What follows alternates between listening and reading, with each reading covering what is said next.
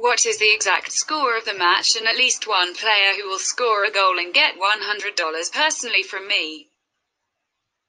Leave the answers in the comments. Subscribing to the channel and liking the video are also required. We register by reference in the attached comment. Enter the promotional code. We get an advance rate on your account. Nîmes play host to Brest at their Stade de Costières in the opening match of the season. Les Crocodiles were more than fortunate not to drop to League Two last term, with the team finishing the process just above the relegation zone. Nîmes eager to make amends for the unsuccessful campaign, and they are surely capable of beating Brest in front of home fans. Les Pirates, on the other hand, are eyeing yet another Elite Division survival.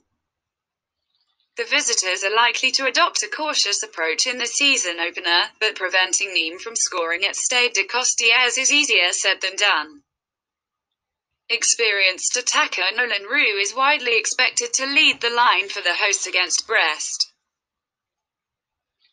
Anyhow, home win should be considered as Les Crocodiles. Are eager to give fans some cheer following the unsuccessful 2019-20 League One campaign. Prediction. 2 to 1